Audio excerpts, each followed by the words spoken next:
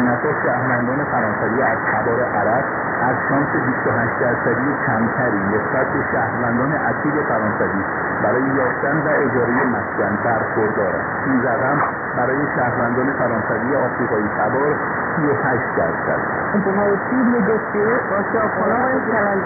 تا بتونید در مواقع استثماری رضایتتون رو برای اجاره به کنید. طبق آخرین آمار منتشره دوازده میلیون نفر در فرانسه تجربه خانگی نامناسب برای زندگی را داشتند و فقط سال گذشته سیصد و سی هزار شهروند فرانسوی